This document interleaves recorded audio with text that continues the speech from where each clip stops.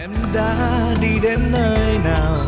Trong giấc mơ xưa khi ta đã cùng. Dù cho đời mang đến lắm thương đau, thì ta hẹn luôn có nhau. Giờ con đứng đi vô cùng. Từng cơn bão giông góp thêm nghịch mùng. Em đã chạy về đâu theo ngày tháng? Anh đã chạy về đâu giữa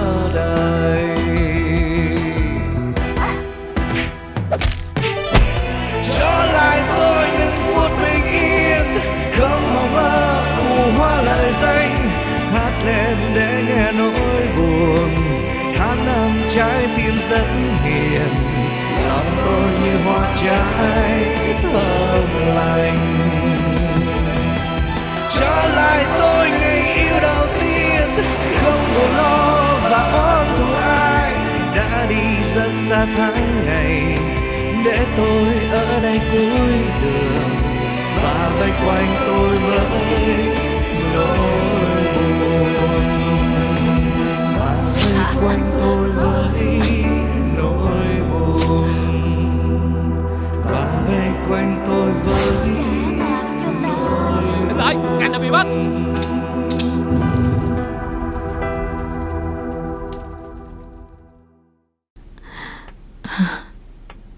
chủ ơi Bà chủ Có cô Việt Linh tới thăm. À Chị cho cổ vô đi. Dạ.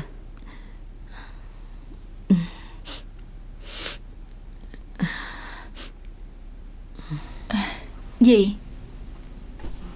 Dì đi khám bệnh chưa? À Dì bị cảm soàn thôi mà. Nghỉ ngơi rồi nó khỏe lại thôi. Trời ơi dì không được coi thường như vậy đâu. Hay là để con đưa dì tới bệnh viện Á Châu cho anh Minh khám nha. Chứ anh Minh là bác sĩ mà à, Thôi con. Vợ chồng thần Minh Nó không có biết gì bị bệnh. Trời ơi Vậy dì bệnh bao lâu rồi? Hai ngày rồi con. Hai ngày. Vậy là hai ngày hôm nay Vợ chồng chị Uyển Lan không có tới thăm gì hả? Cũng không gọi điện thoại luôn. À không con. Vợ chồng tụi nó bận lắm. Cho nên dì cũng không muốn nó phân tâm về mình. Dì có nhờ chị người làm mua thuốc giùm dì rồi. Dì ơi Dì nói vậy không có được đâu. Làm con cái á Khi cha mẹ bệnh mới cần tới mình Thì mình phải chăm sóc tận tụy chứ. Hai người đó như vậy là không được. Nhiều khi con hả Con muốn có mẹ ở bên để chăm sóc mà đâu có được đâu. Anh chị hai thiệt là. Con đúng là đứa con ngoan. À dì ăn gì chưa? Dì không muốn ăn đâu con. Thôi bây giờ dì nằm nghỉ đi Để con chạy ra ngoài con mua ít cháo về cho dì ăn nha. Ờ thôi khỏi đi con Chị người làm con nấu cháo cho dì rồi. Ờ vậy thôi để con xuống bếp con lấy nha. Chứ dì không ăn không có được đâu. Ăn cháo rồi còn uống thuốc nữa. Dì đợi con một chút. Linh đúng là đứa con gái tốt.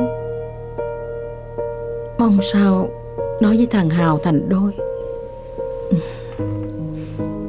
Đây Ăn một miếng thôi rồi còn uống thuốc. Dạ. Để dì ngồi vậy. Dạ Dạ.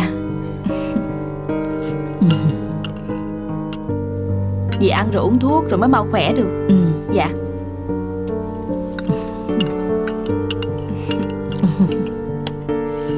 Cháo ngon lắm. Nhờ con đút đó.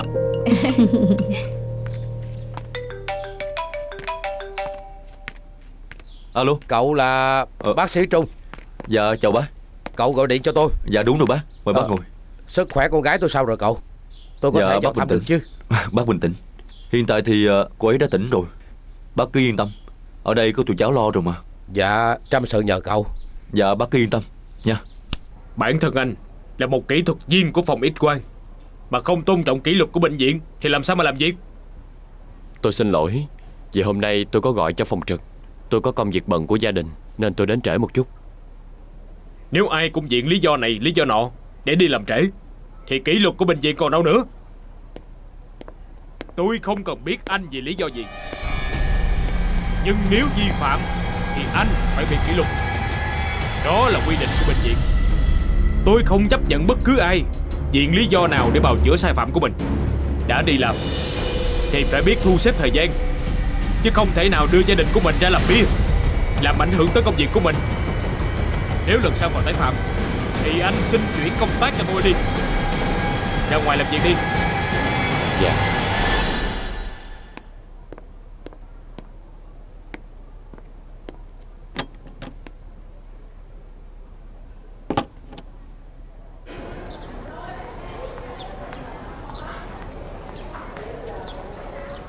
Từ ngày sắp Minh lên thay giám đốc Khang quản lý bệnh viện á Anh ấy toàn tự quyền quyết định mọi việc Và tự quyền muốn làm gì thì làm.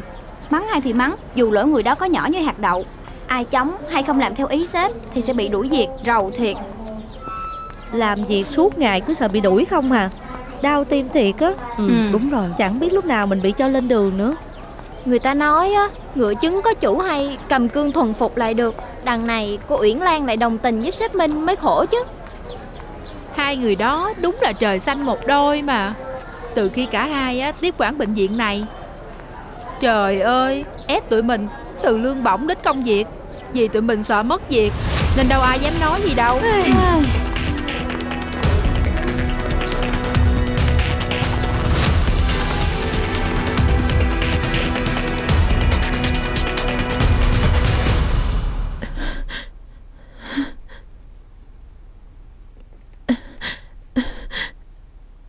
Anh Hào, Cứu tôi. Cứu tôi đi. Anh Hào, Cứu tôi đi. Tôi sẽ cho anh biết Người giết chết mẹ anh là ai. Cứu tôi. Cứu tôi. Cứu tôi. Cứu tôi. Dạ ba mới tới. Ờ Ngồi đi. Ừ. Hai cha con mình nói chuyện chút ha. Ờ dạ. Bà vừa tới đây Thì vô tình ba nghe Con đang rầy Hưng Vì cậu ấy có việc gia đình nên đi làm trễ. Mà thậm chí ba nghe là con còn cảnh cáo Và đòi đuổi việc nữa. Ý bà nói con rầy la anh ta như vậy là sai sao? À, Không phải vậy. Ba không nói con làm như vậy là sai. Nhưng mà ba chỉ mong con ờ, nên hiểu và thông cảm. Ai cũng vậy hết đó. Cũng có lúc ờ, gặp cái việc đột xuất ờ, xảy ra ngoài ý muốn mà con Con nghĩ nếu mà mình không kỷ luật nghiêm Thì những người đó sẽ coi thường. Nếu chúng ta thông cảm và chấp nhận yêu cầu của họ một cách dễ dàng Thì lần sau họ sẽ tái phạm Thì bệnh viện của mình sẽ không còn trật tự và kỷ luật được nữa. Dạ anh Minh nói đúng đó ba. Chúng ta là cấp trên Thì chúng ta phải nghiêm khắc. Cấp dưới mới nể mới sợ. Chứ mà mình hiền quá thì họ sẽ leo lên đầu lên cổ ngồi. Ba muốn ờ, là tất cả mọi người làm việc ở đây á Đều coi cái bệnh viện như một gia đình. Chúng ta cùng nhau tương trợ phấn đấu Để hướng cho cái bệnh viện này càng ngày đi lên. Vừa chất lượng ha Vừa lại có tình người nữa. Tụi con có cách quản lý riêng của mình. Bây giờ ba đừng có xen vô nữa. Cái thời của ba Bây giờ không có áp dụng được với tụi con ba hiểu không? Ba đã bàn giao cho tụi con rồi. Thì đừng có tham gia vô những cái chuyện này để làm gì nữa. Ba Ba Ba ơi. Ba có sao không ba? Ba. Được rồi.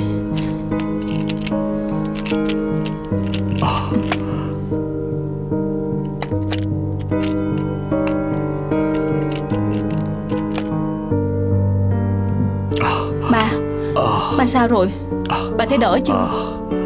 Ờ, Được rồi, được rồi, con đừng lo.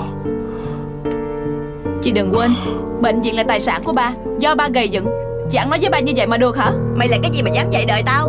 Tôi không có dạy đời ai hết á. Tôi chỉ muốn nhắc cho chị nhớ Là vai trò và vị trí của chị ở trong gia đình lẫn bệnh viện. Mày ăn nói hỗn hào vừa thôi nha. Ôi trời ơi. Chị em B gặp nhau cứ cãi lộn hoài. Con xin lỗi ba. Thái độ của chị ấy Đối xử với ba như vậy con không có nhịn được. Mày im đi. Ờ Lan à Dạ con xin phép ba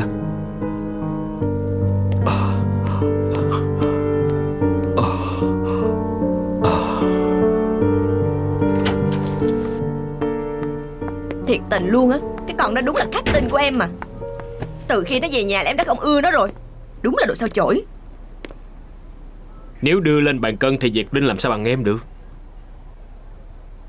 Từ tham vọng đến tài trí Cô ta không thể nào so sánh với em được. Nhưng nó lúc nào cũng là cái gai Khiến em rất là chướng mắt. Chuyện gì cũng có thể giải quyết được hết. Chỉ cần em nghe theo lời của anh Thì tất cả mọi thứ của ba Đều thuộc về em. Anh có cách gì hả? Tất nhiên. Nhưng trước mắt Mình cứ đi từng bước một Đừng có dội.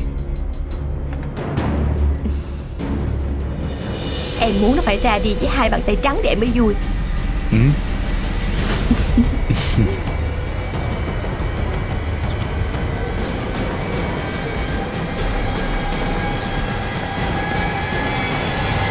Dì Phương đang bệnh. Anh với chị Uyển Lan về nhà thăm dì ấy đi. Em nhiệt tình với mọi người thiệt đó. Nhưng mà chuyện của gia đình anh Anh tự biết cách sắp xếp. Cảm ơn em đã báo cho anh. Em nên quan tâm Và chăm sóc cho ba đi. Khuyên ông ấy hãy ở nhà mà nghỉ dưỡng. Còn không thì ờ, đi du lịch ở đâu đó chơi đi. Đừng có tới đây nhiều Để thấy nhiều cái chuyện mà không hay Làm cho nó mệt tim. Ha. Tuy rằng nhà tôi đã giao cho anh và chị Uyển Lan quản lý cái bệnh viện Nhưng trên giấy tờ Thì bệnh viện này vẫn là bệnh viện của gia đình tôi. Và tôi cũng có cổ phần trong đó. Anh đừng có quá tự quyền mà quyết định mọi thứ. Ừ.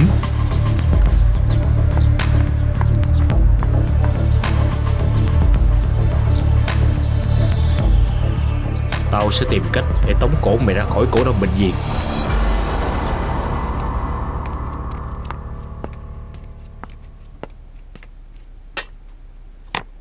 Bạn sao vậy? Tự nhiên đi chợ về mặc dù uống đống vậy. Giờ rồi tôi đi chợ Gặp người bạn. Bà có đứa cháu mới vô làm trong bệnh viện Á Châu. Mà chuyện này có liên quan gì tới bà? Qua đó tôi mới biết. Thằng Minh Nó mới làm đám cưới với con gái giám đốc bệnh viện đó. Hả? Bà nói thằng Minh nó cưới vợ khác hả? Chứ gì nữa. Sao tôi không nghe thằng Hào nó nói gì trơn vậy ta thì chắc nó sợ tôi với ông buồn, Cho nên nó giấu chứ gì. Nè, Tôi còn nghe chuyện nữa. Bà Phương mẹ của nó Cho nó một số tiền rất là lớn Để cho nó có chân trong bệnh viện Á Châu nữa kìa. Bây giờ Nó với vợ nó quản lý bệnh viện đó rồi. Vậy mà trước đây, Mỗi lần tôi hỏi nó là nó cứ một mực nó chối tôi thôi. Nó nói là nó không có một ai hết. Đó, Bây giờ con Mai Anh chết, Mồ chưa xanh, Nó đã đi cưới người khác. Đúng là Cái thứ bạc tình giả tạo mà. Thôi bà đừng có nhắc tới thằng Minh nữa. Từ khi mà nó bước vô cái bệnh viện đó nó làm việc á Là tôi thấy cái kết giữa nó với con Mai Anh ra sao rồi.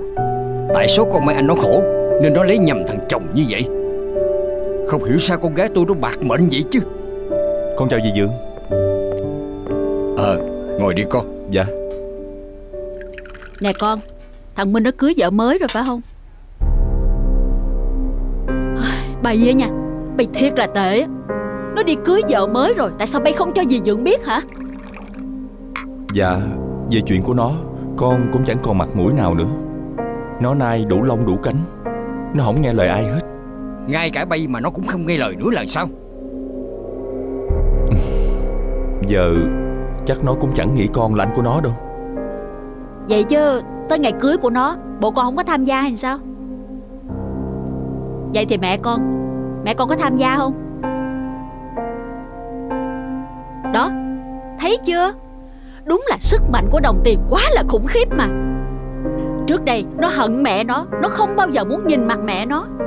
Vậy á, Mà bây giờ bà mang một đống tiền Để trước mặt nó vậy nè, Là nó đồng ý nó quay lại với bà liền đó thấy không? Tôi nghe nói, Từ khi mà nó cưới con gái của giám đốc bệnh viện, Nó được trao quyền rồi. Nó nắm tất cả mọi việc ở trong đó Cho nên nó tự quyền tự ý làm càng. Nó hống hách Nó coi người ta không ra cái gì nữa thấy không? Nè Nhiều người bất bình lắm đó nghe con. Con á, con gặp nó thì khuyên bảo nó đi. Làm sao sống cho đàng hoàng tử tế? Không á Là sau này rồi hối hận đó. Con cũng đã khuyên nó nhiều lần Nhưng nó chẳng có thèm nghe Mà còn chống đối lại nữa. Nếu bây giờ con nói nó không nghe Tại sao không kêu mẹ con nói? Hả Bây giờ bà giàu có rồi Bà đưa cho nó một đống tiền vậy nè Thì bà nói gì nó không nghe.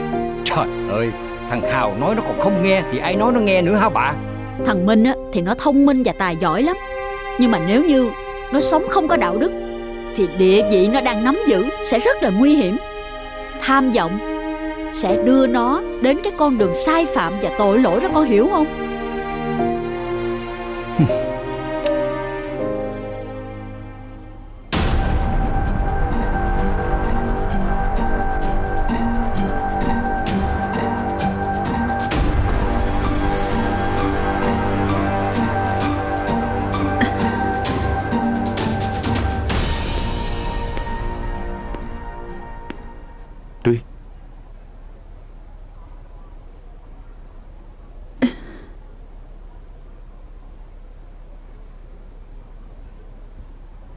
khỏe lại là tốt rồi.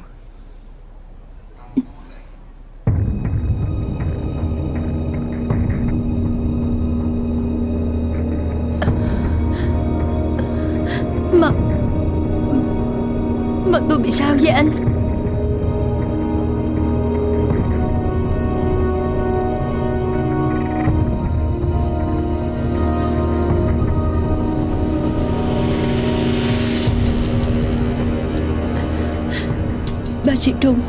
Mặt tôi sao vậy? Sao tôi cảm giác nó nặng nặng Cho tôi nhìn mặt tôi đi. Cho tôi nhìn mặt tôi đi.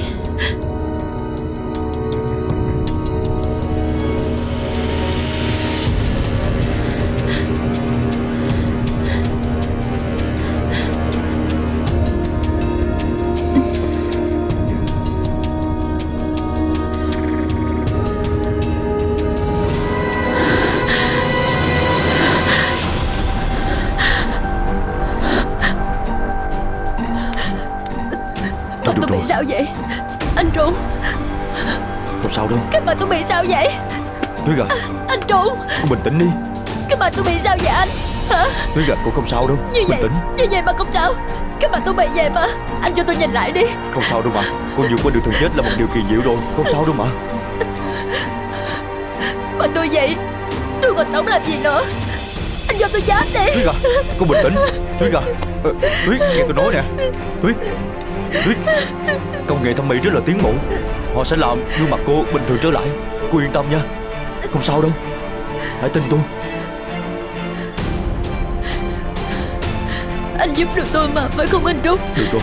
Anh giúp tôi nha. Được rồi. Tôi van xin anh Tôi sẽ giúp cô. Anh giúp tôi. Tôi còn trẻ mà. Tôi không thể sống với khuôn mặt này suốt đời được đâu anh à Cô bình tĩnh đi đã. Tôi sợ lạnh đó Hả? Bình tĩnh đi. Anh giúp tôi nha anh Trung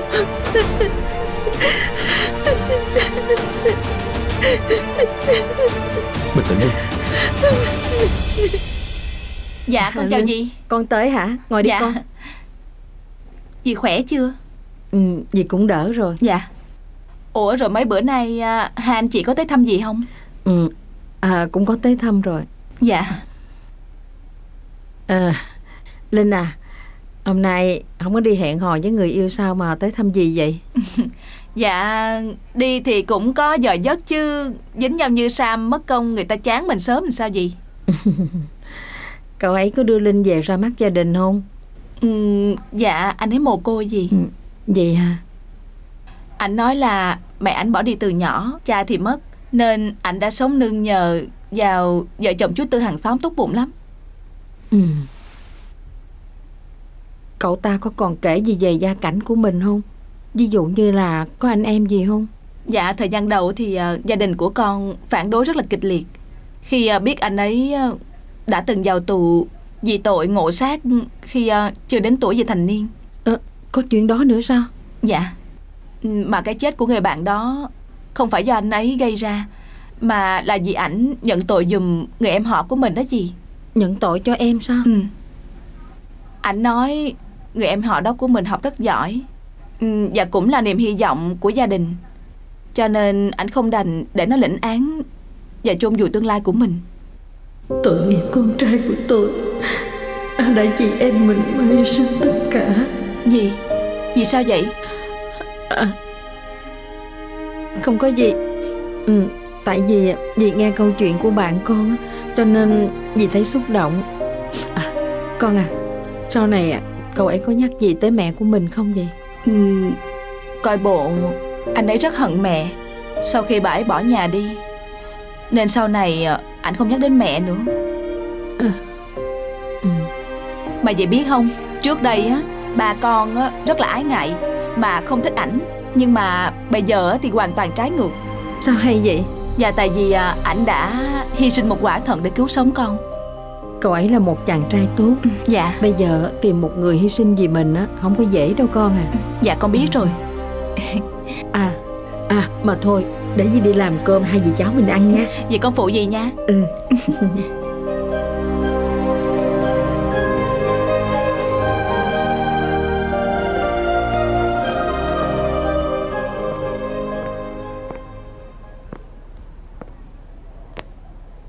Cô Tuyết Hôm nay cô có đỡ hơn không?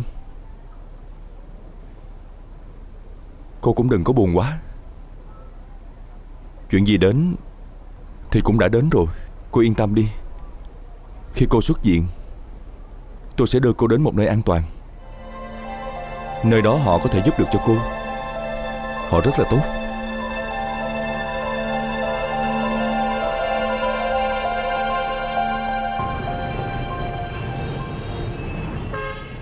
Vừa rồi em có đến thăm dì Phương Tự nhiên thấy dễ bị bệnh. Mà không có ai chăm sóc Chán thiệt. Nhìn như vậy rất cô đơn. Nghe nói uh, bà ấy cũng có đứa con trai và con dâu mà. Ừ Đúng là có. Nhưng mà họ lại chẳng quan tâm đến gì. Họ rất là dửng dưng khi nghe em báo tin là dì bị bệnh.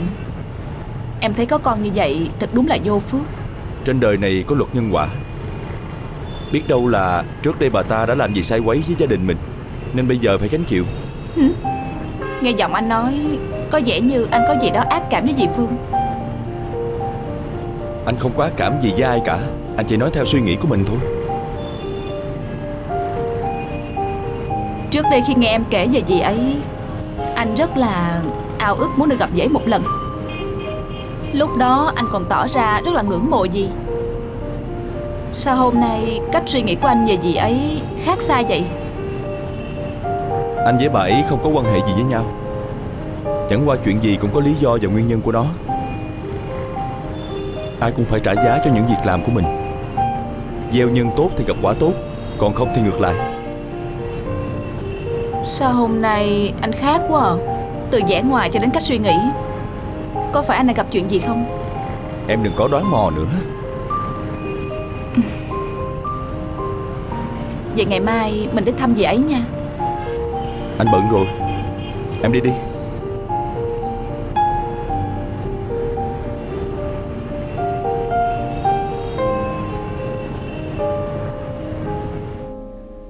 Linh, qua đây chị nói nghe nè. Dạ. Chuyện gì vậy chị? Chị có vụ kiện mới cho Linh nè Em coi nhận được không?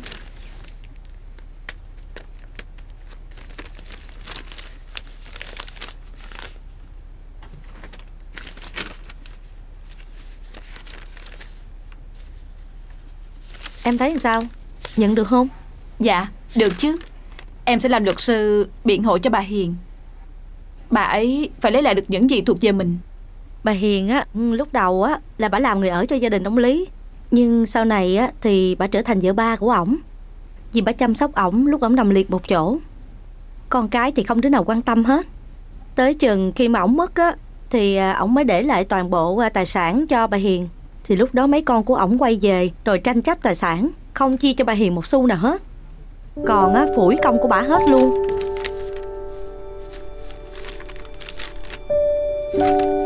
Đúng là khi cha mẹ bệnh á Thì chẳng có đứa con cái nào đến thăm hết. Bỏ mặt cho bà Hiền. Vậy mà khi ổng mất một cái Thì bay hết về tranh giành liền. Thiệt Đúng là Tình không bằng tiền phải không chị? Đúng rồi. Vì à, bà Hiền từng là người ở của ông Lý Mà lại không có hôn thú, không có giấy tờ gì hết Nên giờ bà phải chịu thiệt thôi.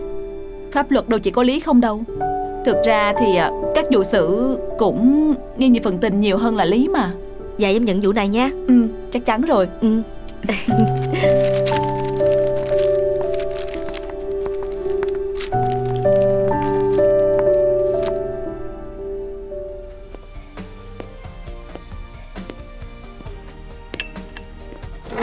À con. Bà gọi tôi ra đây có chuyện gì không? Mẹ thấy dạo này vợ chồng con ít đến chơi Cho nên mẹ cũng muốn gặp con. Bà cũng biết nhớ thương tôi à Mẹ biết, Hai anh em con vẫn còn giận mẹ Và chưa thể tha thứ cho mẹ. Nhưng mẹ vẫn mong được nhìn thấy hai đứa con.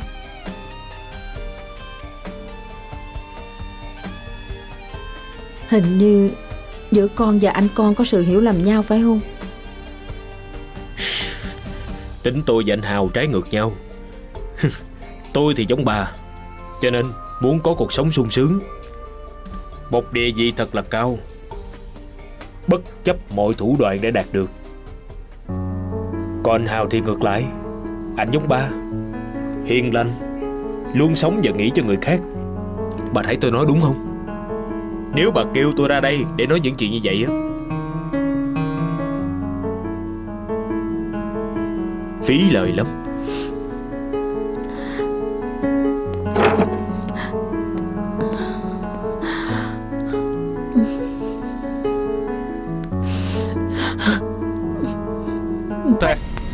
Làm gì vậy hả?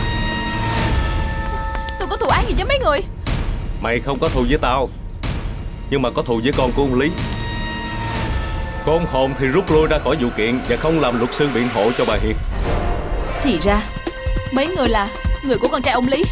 Ê! Mày nhắm mày chạy được không? Liệu hồn cái khuôn mặt xinh đẹp của mày đó nha mày Lần này ta chỉ cảnh cáo thôi. Bôn hồn Thì rút lui đi. Cẩn thận cái khuôn mặt xinh đẹp của mày đó. Đây chỉ là lần cảnh cáo nhẹ. Nếu lần sau mày vẫn không nghe lời á Thì tụi tao sẽ không nương tay với mày đâu.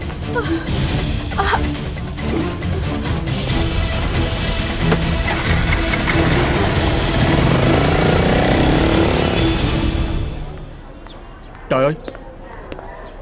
Bác sĩ Thắm Tôi xin lỗi giáo sư. Tôi không thể giữ lời hứa với giáo sư được. Ủa à, Bác sĩ chuyển công tác bệnh viện khác hả? Dạ không phải vậy đâu. Do giám đốc mới nói tôi già rồi Nên không trọng dụng tôi nữa Nên cho tôi về hưu sớm. Thôi chị về đi. Dạ. Dạ chào giáo sư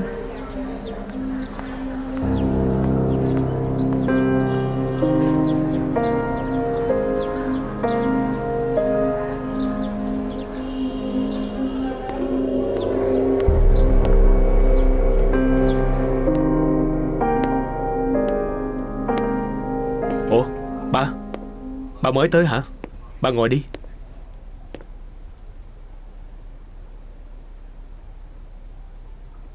Bác sĩ Thắm có lỗi gì Mà con cho bà ấy nghỉ việc vậy? Ờ. Thì ra ba đến đây vì chuyện này. Bác sĩ Thắm tuổi đã già rồi Không còn thích hợp làm việc ở bệnh viện mình nữa Cho nên con mới cho bà ấy nghỉ ngơi sớm thôi. Bác sĩ Thắm là bậc tiền bối của bệnh viện này. Sao con tự ý xử sự như vậy Ba, Con làm vậy cũng vì lợi ích của bệnh viện mình thôi. Con sẽ cải thiện toàn bộ đội ngũ bác sĩ. Chọn những người trẻ tuổi có tài Để đưa bệnh viện mình đi lên. Chứ không muốn vì tình cảm mà giữ lại những người vô dụng. Con không được tự ý. Quyết định như vậy. Bệnh viện còn có hội đồng quản trị. Muốn cái gì thì họp mọi người lại, Rồi lấy ý kiến của hội đồng. Rồi quyết định. Con nghe chưa? Con chỉ làm đúng vai trò của người quản lý bệnh viện này thôi. Con làm như vậy là vì lợi ích chung, Chứ đâu phải vì bản thân của mình mà bá trách con. Về phần hội đồng, Khi nào cần thì mới họp. Ví dụ như Muốn trút phế đội ngũ lãnh đạo của bệnh viện chẳng hạn. Minh! Nếu ba không muốn thấy những chuyện bực mình khó chịu như vậy, Thì con nghĩ ba nên ở nhà nghỉ ngơi đi. Còn có chuyện con xin phép ba Con đi trước.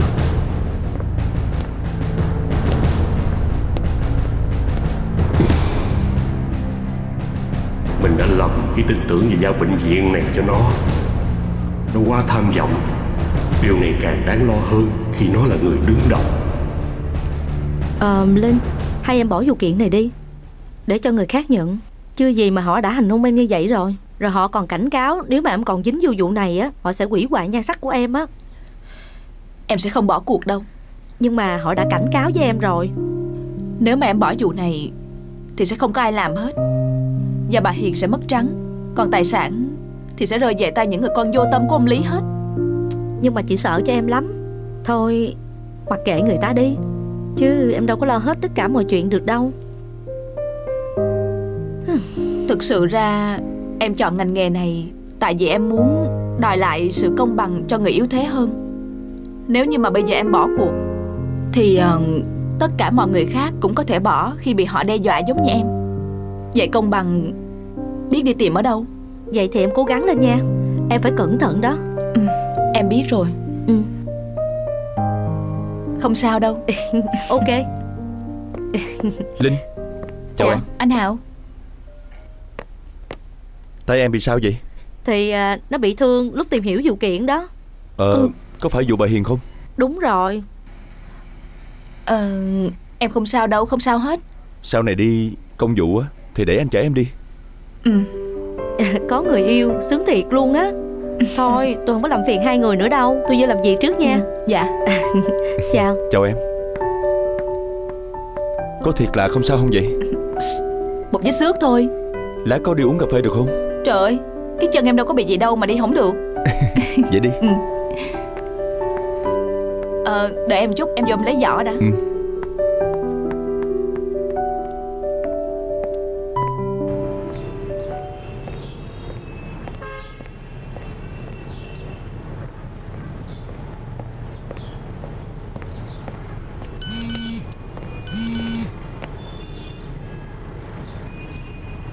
Anh đã cứu giúp tôi.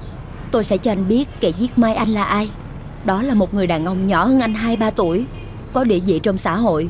Và đặc biệt Anh biết rất rõ về hắn ta. Tôi chỉ có thể cho anh biết đến đây thôi. Nhưng mà để khỏi hoàn toàn thì cô phải kiên trì tái khám. Và nếu được á thì nên kết hợp thêm đông y Như là chăm cứu chẳng hạn. Cảm ơn anh. Tôi sẽ cố gắng. Còn đông y Tôi sẽ nhờ cha của một người bạn cũ. Sau khi xuất viện Cô có dự tính gì hay không? Mất đi anh Khiêm Tôi mất đi tình yêu Lẫn niềm hy vọng đổi đời. Tôi nghe bên công an điều tra nói là Nhà có Khiêm bị cháy Vụ cháy rất lớn Đúng rồi. Họ nói là Có một người nào đó họ gửi một cái USB vô hộp quà. Và cái USB đó gắn vào máy tính. Và nó kích hoạt pin nổ.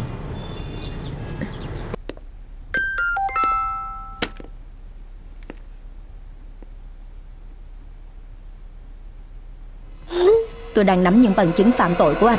Việc anh hại bác sĩ Khiêm trước đây Lẫn cái chết của Mai Anh. Nếu muốn lấy lại những chứng cứ phạm tội của mình Thì hãy đưa cho tôi một số tiền nếu không, Những bằng chứng này sẽ lần lượt tới tay gia đình của Uyển Lan Và những người thân của anh. Tuyết. Con khốn. Thì ra mày vẫn chưa chết. Tao cứ tưởng mày đi theo thằng Kim luôn rồi. Không ngờ số mày còn lớn lắm. Mọi thứ đối với mình đang thuận lợi theo kế hoạch Tự nhiên con khốn này xuất hiện.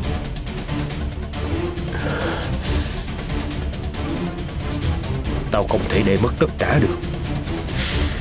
Không thể nào.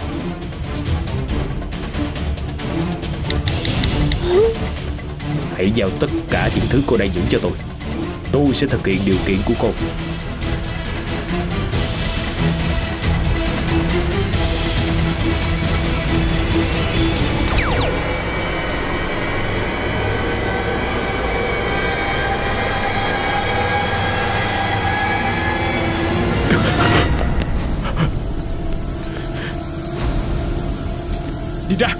Ra khỏi đây. Do Do mày đối đầu với tao. Do mày đối đầu với tao Nên mọi chuyện mới có kết quả giống như ngày hôm nay. Đâu phải tại tao đâu. Mày đi ra đi. Đi ra. Không. Yeah!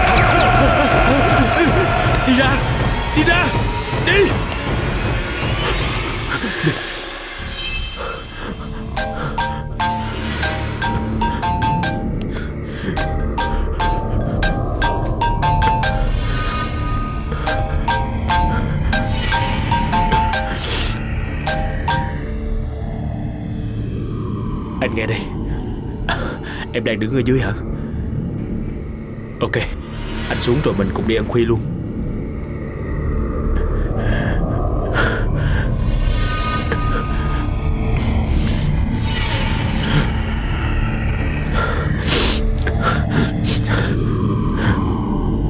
Xin phép ông á cho tôi gửi cô Linh một món quà. Món quà á, tuy rằng không có giá trị nhưng mà tấm lòng của tôi á. Dạ. Xin ông nhận cho. Dạ Cảm ơn chị nha Nhờ có cô Linh á mà tôi á, mới nhận lại được căn nhà mà ông chồng tôi để lại. Cô Linh đúng là một người Dạ, tốt mời á. ông chủ. biết rằng á giúp người á không có nhận một thù lao nào hết mà cổ vẫn cứ nhiệt tình giúp.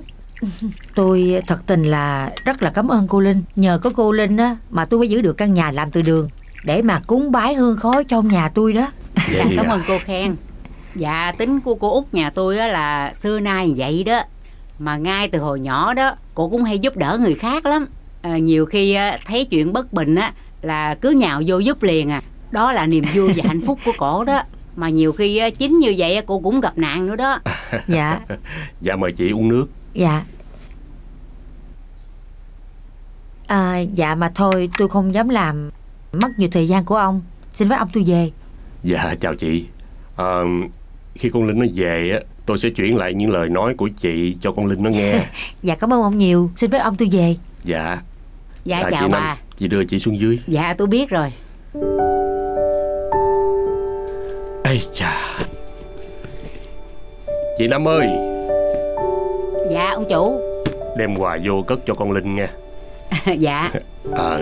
Chàng ơi Sau này ai mà lấy được cô Linh á là có phước lắm đó ông chủ. À Phải chi mà con Nguyễn Lan Nó có một tấm lòng Bằng một nửa con Linh thôi Thì thật là hạnh phúc cho tôi. Cha mẹ sanh con trời sanh tánh mà. Ông chủ đừng có suy nghĩ nhiều mà sinh bệnh. Rồi cô út lại lo lắng nữa. Tôi tin rằng sau này á, rồi cô hai sẽ hiểu Và nghe lời ông dạy bảo mà. Ừ, Thôi chị đem cất đi. Dạ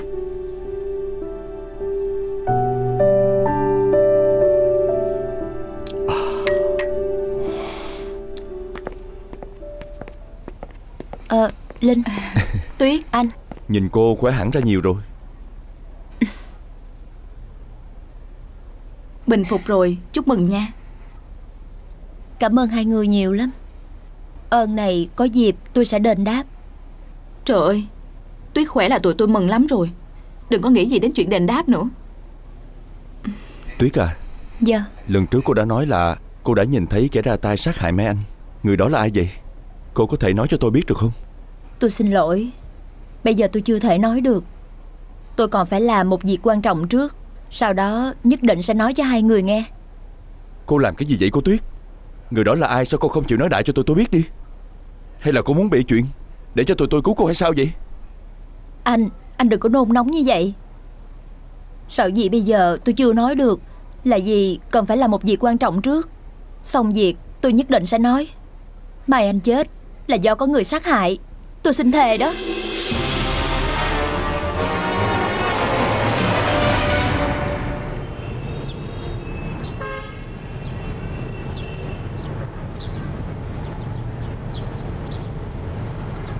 Anh Hào Bên kia có bán hộp thịt lộn kìa. Hay là mình qua đó mình làm vài trứng xả xui đi. Ừ. Trời. Ơi Ừ? Em nói giỡn thôi Để em coi thái độ anh sao. Ai dè cái mặt bí xị vậy mà vẫn đi mới ghê chứ Ờ, anh vẫn nghĩ về những lời của Tuyết nói hả? Ừ. Nếu như mà thật Em giả dụ nha Nếu đã biết Tại sao Tuyết không nói ngay từ đầu Mà em thiết nghĩ Nếu như mà cổ không tỉnh lại luôn thì sao Anh không biết phải nói với em như thế nào Nhưng mà anh có cảm giác Về những lời Tuyết nói là thật Theo như suy nghĩ logic của một luật sư như em Khi biết được hung thủ giết chết Mai Anh Sở dĩ cô ấy không muốn nói cho mọi người biết, Chỉ có hai lý do. Một là Đó là người quen của chúng ta. Cô ấy không muốn nói cho chúng ta biết Để chúng ta khơi lại nỗi đau lòng thêm nữa. Hai là Cô ấy muốn giữ bí mật cho riêng mình Để đem ra đổi chắc.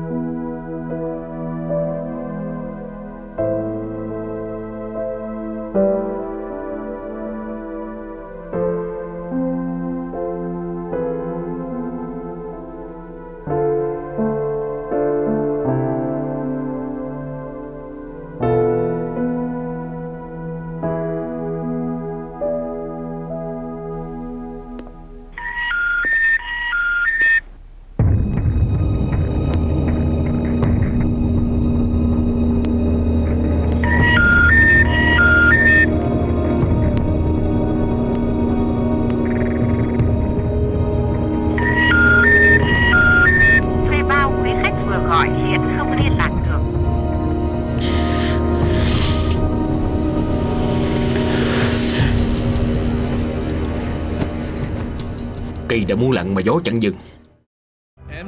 Mày chỉ cần biết Tuyết đã nhìn thấy kẻ đã hại chết mẹ anh là được rồi.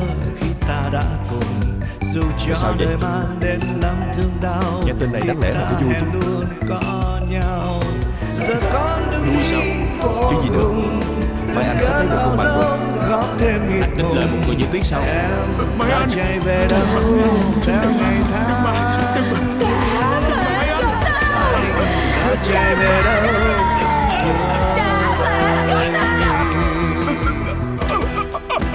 Anh Minh. Anh Minh Trở lại Anh Minh Ngay cả cái thằng Hào. này Là anh của nó hy sinh cho nó ăn học Rồi lớn lên thành người như vậy Mà bây giờ nó cũng không thèm nhận anh nữa nữa. Bây giờ nó đứng đầu bệnh viện rồi Nó còn sợ ai. Chẳng qua cái tính của nó là sĩ diện thôi Tự cao thôi Cho nên là nó không nhận thằng Hào Đó, trong khi mẹ của tụi nó bỏ đi lúc tụi nó còn nhỏ. Vậy mà bây giờ bà có tiền bà quay về Thì nó lại nhận lên sao? Em sắp đi nước ngoài Để khẩu việc lại thương Và vây quanh tôi vẫn Bây giờ Mặt em trướng dạ ghê đó Anh phụ hộ cho em Để mọi chuyện được suôn sẻ. Em sẽ dạch trần bộ mặt thú tính của con người đó Thời gian sắp tới. Em không ghé thăm anh thường xuyên được. Anh đừng buồn em nhé.